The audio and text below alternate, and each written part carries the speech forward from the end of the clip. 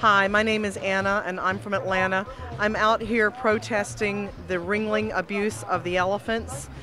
The city of Atlanta is not enforcing the bullhook ban that the Fulton County commissioners passed last summer. We're very disappointed in this as the language was quite clear and the citizens of Fulton County have been quite clear that they want the use of the bullhook banned in Fulton County.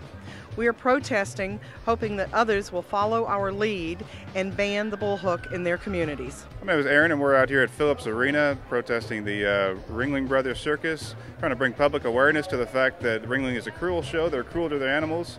They were just fined by the USDA $270,000 four months ago for animal abuse and violations of the Animal Welfare Act. We're trying to let people know that they bring their kids out to the circus. They're supporting animal cruelty, they're supporting animal abuse, and has, has nothing, uh, has no place in a, a progressive, civilized society. Thank you. So we're not just out here doing this for the fun of it. We're doing it because there's animal abuse going on inside Philips Arena. If you buy a ticket to this, you are supporting animal abuse, and especially elephant abuse. So when you get home, please Google ringlingbeatselephants.com.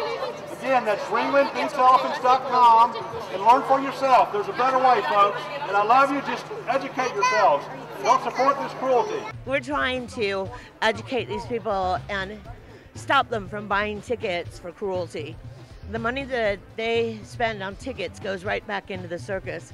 The circus is cruel. They have animals performing tricks that they would never perform in the wild.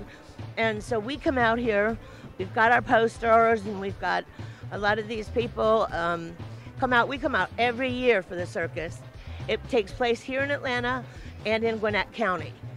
Ringling Brothers Barnum Bailey Circus has earned its place in history as the show on earth. The animals you're about to see perform do not perform these tricks because they want to. They perform because they are forced. They perform out of fear of punishment by cruel bull hooks, whips, and electric shock devices.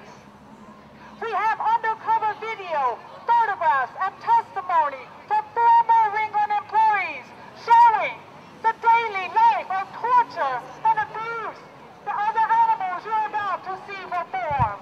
If you support this, you are supporting animal abuse. There's a better way, folks. Go to a different show. You don't have to support this. Again, ringlingbeatsanimals.com. Thank you.